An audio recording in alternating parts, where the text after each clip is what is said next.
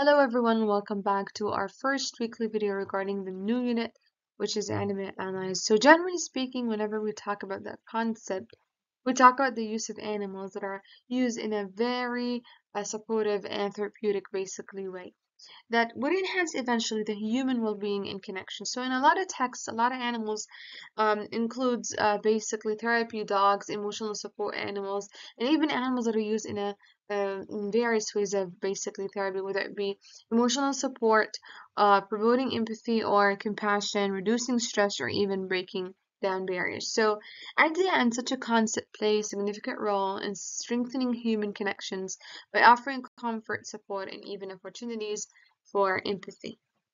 Now, to move on with the concept itself, we're going to learn more about key concept related and global context. So, starting off with connections, context, style, theme, and last identities and relationships. So, we're going to link all of these concepts together in order for us to formulate at the end the SOI that has to do with our unit.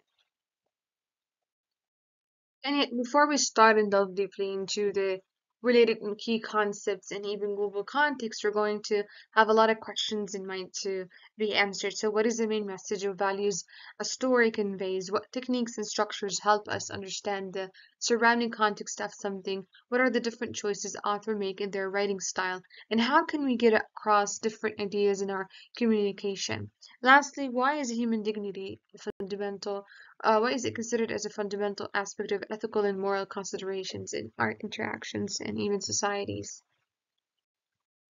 Starting off with identities and settings. So identities refer actually to characteristics, traits, beliefs, values, and cultural affiliations that define individuals or groups.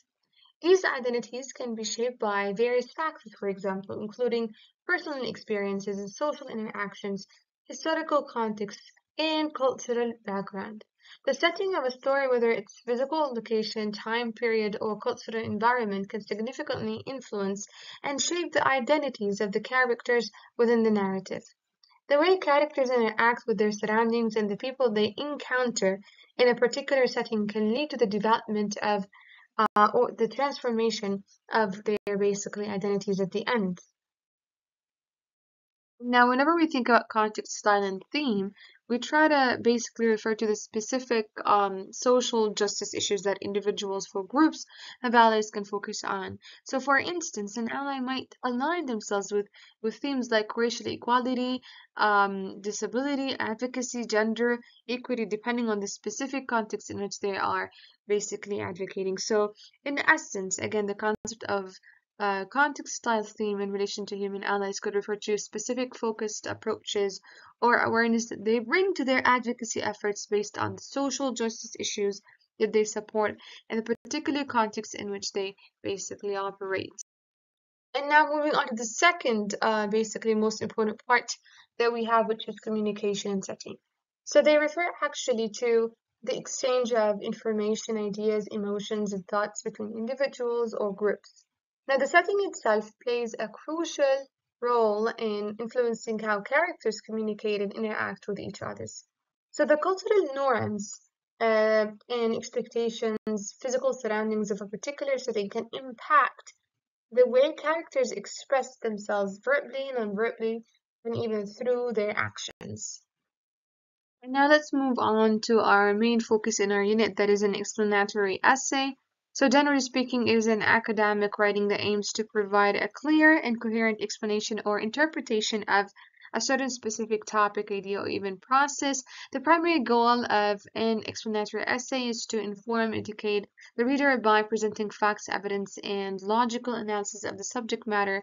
And again, the most important part is that you know it's just like any other basically essay. You start off with an introduction with a hook. Again this is a statement that has to clearly state the main idea that you're trying to basically explain in your essay.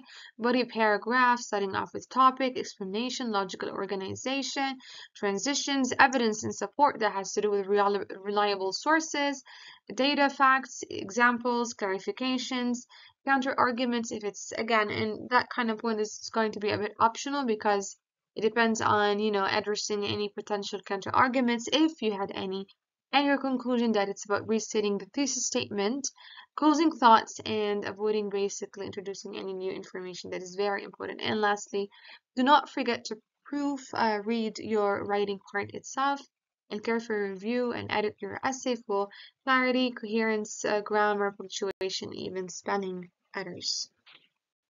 And now to follow up with the uh, basically assessment criteria regarding the writing section. Now in the writing section, we have to focus on clarifying the purpose. So determine the purpose of your narrative all the time. So are you informing? Are you reflecting something? Uh, are you entertaining people? So having a clear purpose will guide your writing and ensure the narrative stays actually focused. Second of all, we have to focus on selecting a central idea. So choose a central idea or a thesis that your narrative will revolve around. Thirdly, you have to focus on organizing your thoughts. So you can never write random thoughts. Before you begin writing, outline the main points and events you want to include in your narrative. And that in that basically way, this is like very helpful for you.